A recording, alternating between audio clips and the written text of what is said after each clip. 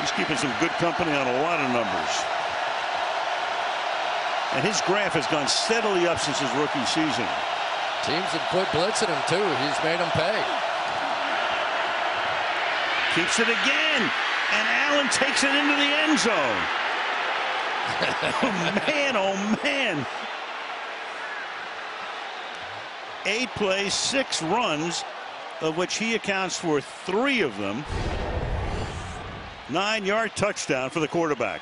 Watch these linemen pull. Does anything look a little bit like what we saw in Baltimore this year? Backside guard, backside tackle, right around, and you've got a big horse running the football in your quarterback. 237 pounds, and I think they're taking this game seriously tonight. Fairly.